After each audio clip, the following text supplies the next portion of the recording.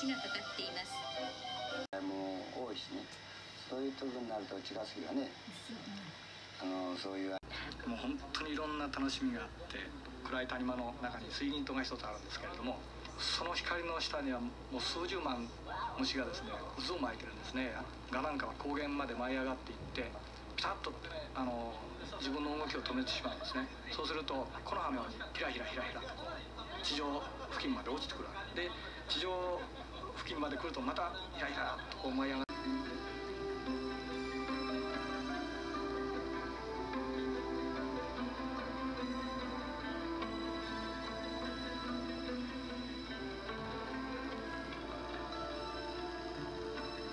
須磨田峡は大井の秘境と呼ぶにふさわしい名称です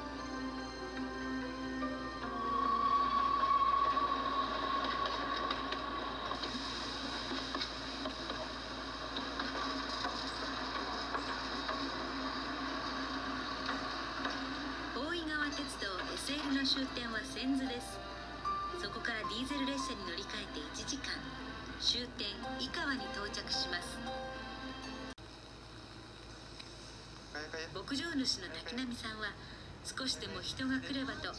新しい産業に懸命です。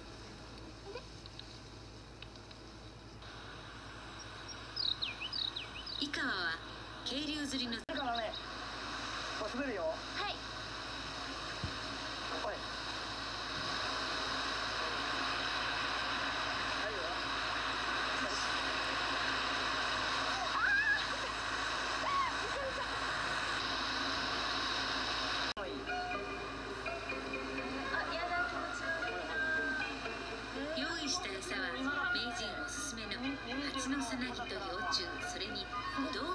ド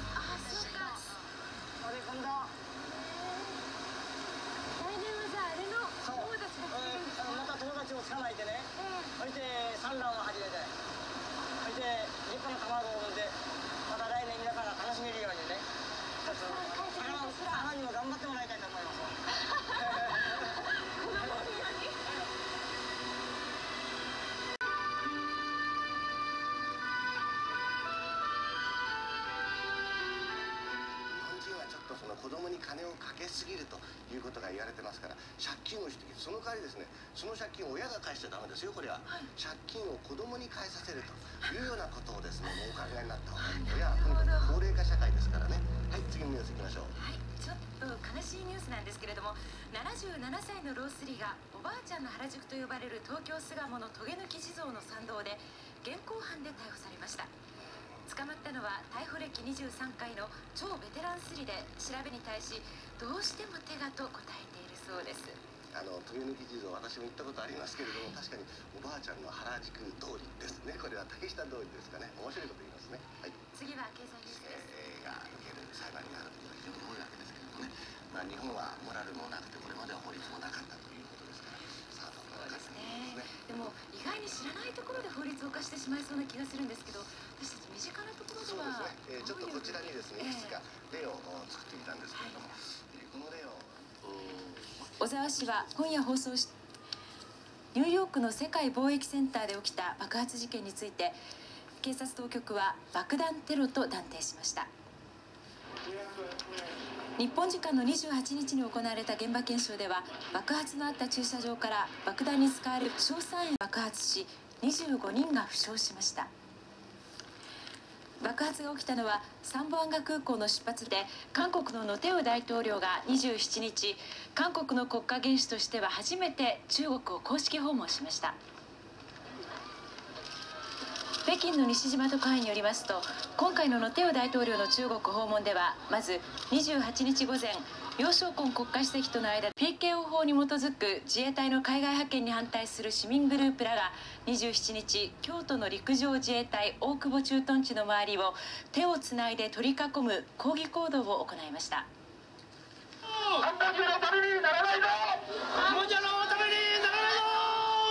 北太平洋の公海で北海道の小型サケマス漁船が集団違反操業をしていたとされる事件で釧路海上保安部は27日釧路の漁船の漁労長2人を逮捕しました。逮捕されたのは釧路のサケマス小型船の漁労長木村義行容疑者と田辺清容疑者の2人です。7日の夕方体調を崩して病院に運ばれました。青島氏は26日の午前10時から丸2日間参議院議員会館前に座り込み金丸氏の辞職を求めるプラカードを手にしてハンストを続けていました。えー国民の天敵花丸をやっつけるために私は天敵打っても頑張ろうと思ってます。とさせてもらいました？ありがとうございました。まあねこれからもあの彼女もねスポーツ大好きですからねまた球場とかねサッカー場にどんどん行って、えー仕事をしてください。はい。えー秋田さんの方からね新しいメンバーをちょっと紹介してほしいんですけど。はい、えー、と私の大先輩になります畑由美子さんですこんばんは秋田さん本当にお疲れ様でした。いやまたね強力な夫人になります。ほや。さよなら。スーパー。こんばんは。えー今日からスタジオも新しくなりまして新装開店しましたスポーツニュースですがでもねあのセ・リーグの混戦はすごいですね。すごいですね。今日もすごかったし、一体最後に笑うのどこなんでしょうね。うん。虎の顔が見えますね。あ本当です ごいな。はい、いずれにしても全国の方が注目しているプロ野球なんですがこの方も熱狂してらっしゃるようです。柳沢慎吾さんにお越しいただきました。こんばんは。こんばんは。こんばんは。いやー片岡さん、はい。セットが変わりましたねガラリと。見てください。え。また一段となんかこう良くなりましたでしょ。そう。ですよ。このテーブルなんか大奇跡ですよ大奇跡秋沢さんが痩せましたねしばらくですね秋沢さんねどうもどうもちょっと年食ったんですけどねいやいやいや一つまあねよろしくお願いしますということでセットに金かかりましたねいやもうあの慎吾さんのためにねもう新しくしましたから。びっくりしました、はいここも大理石だと思ったらなんとこの後ろのこれも大理石ですから壊さないでください。軽い音がしちゃう大理石これね褒めて理解してらっしゃるなとは思いますけどね。あの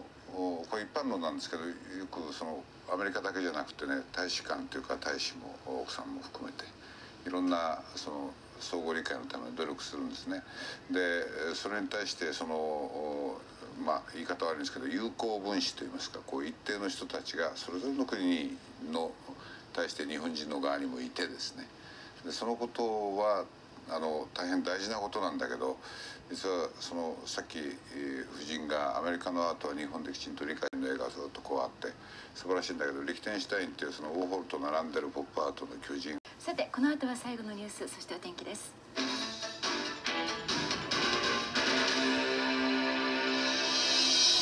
地図をご覧ください。なんですけれどもちょうどウォラーさんが来日したその日に日本でも200万部を突破しました。そしてこちらが新作「スローワルツの川」本を読むように進めてきたいわば火付け役の一人なんですけれども筑紫さんはこの本を読んで涙した心優しい中年の男性たちの一人では自分はないと一生懸命主張していました。今日はその責任上も、えーしっかりと本の話を聞いていただきました。早速ご覧ください。一部の地域を除いては2カ国語放送でご覧いただきます。あるっていうことだと思うんですけれども時間も限られていますので10に絞らせていただきました。こちらなんですけれども、えーこちら。まず提案者からそれぞれ選出理由それから検討を進めていただきます。まずはこちら国会議員じゃんけん選出法。これは佐高さんのアイデアですね。そうですね。あのこの間あのただねじゃんけんっていうだけだとね ちょっとやっぱりあのふざけすぎてかなっていうふうに思うかもしれないけど僕はねもう一つねこれ書いてある。ステーツマン法っていうのをやってステーツマンになるためのねまあ最低限の資質を持ってなきゃいけないと。試験をやるとかね何かやるとかね。アメリカだってその国会でですね大使になったり局長になったりするためにはですね国会議員からいろいろかあの関門を受けるわけですよね。それにパスしなきゃなれないわけですだっていう状況では怖くてしがみつかざるを得ないよそうですねだから他の国なんかはね議員辞めてからまたね民間に戻ったりとかそういうこと平気でやってるわけですからね。だから限られた年数年数の中で燃焼させるとそのためにも僕は多選禁止法っていうのはいいんじゃないかな。一つあの日本で言われてる中で、えー、の一軍といいますかあり得る人たちっていうのはあのフリーランスでね私の番組でよくジョン・アル・パートと山地徹さんが出てきてますけども、そういう形のビデオジャーナリストアメリカではあのそう区別してるカムジャーナリストなんて言い方もするんですけどもそういう人たちがいると。でこういうものもテレビのニュースにどういうふうになってこう噛んでいくかというまあ先の問題がありますね。個性の要求みたいなものも出てきますね。はい、はい。さて第2部明日はガラリと変わりまして米米クラブのカールスモーキー石井さんこと石井達也さんの登場です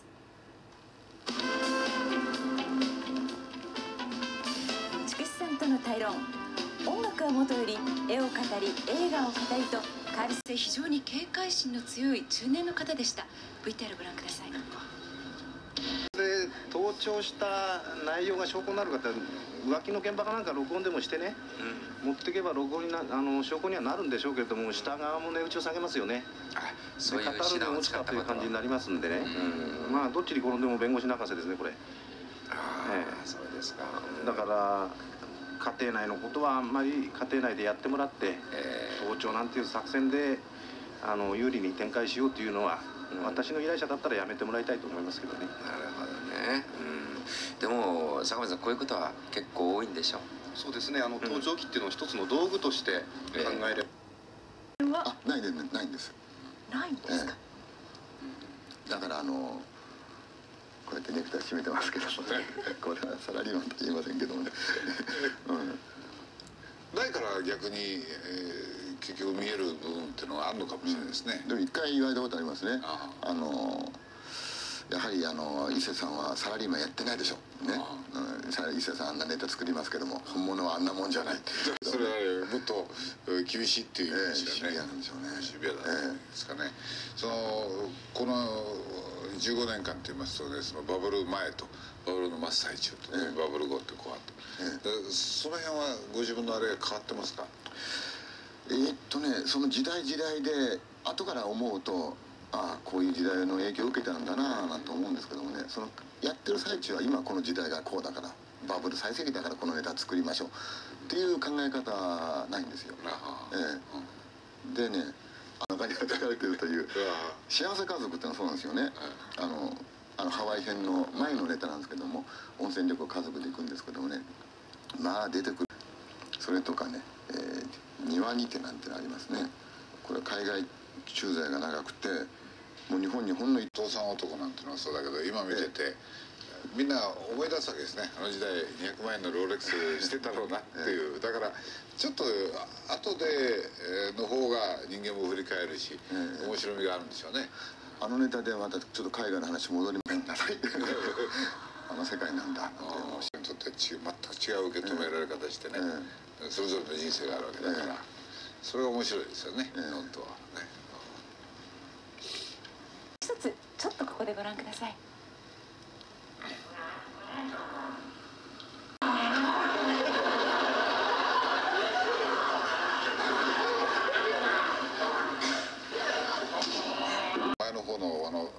のとこはね、ええ、もうそれも田中角栄さんに決まってると思ってた、ええ、だから受け取る人はみんな違うんですよね。